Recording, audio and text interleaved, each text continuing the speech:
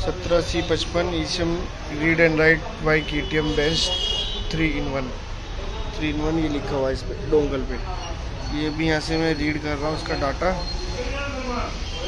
ये देखिए data read करने के लिए इसमें क्या करना पड़ता है? ये जीपीटी वायर जोड़ देनी पड़ती है, वरना ये आइडेंटिफाई नहीं करता। और जीपीटी वायर क्या है? ये crank sensor cam sensor rail pressure sensor ये किसी एक सेंसर में आप दे सकते हो। ज़रूरी नहीं है।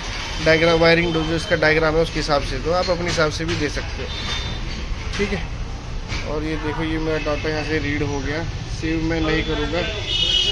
इसमें ओके कर दूँगा। और यहाँ से मैं सीधा यहाँ से उठा के राइट कर दूँगा। फ्लैश का डाटा ये राइट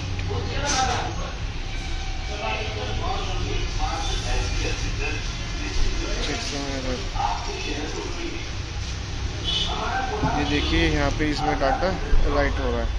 इतनी जल्दी आप सोच रहे हैं, इतनी जल्दी राइट हो, क्योंकि इसमें सत्रह सी पचपन का ही डाटा डाला हुआ था पहले से ही बोलेरो पिकअप का ही जिससे जल्दी से राइट हो गया।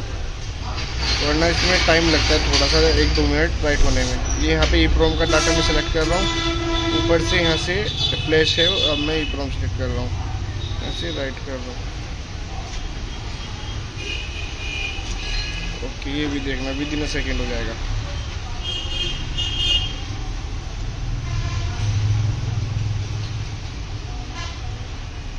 ये देखिए, ये भी यहाँ पे मेरा सक्सेस हो गया। तो कुल मिला के इसे रिपेयर कराया मैंने और ये सक्सेस हो गया।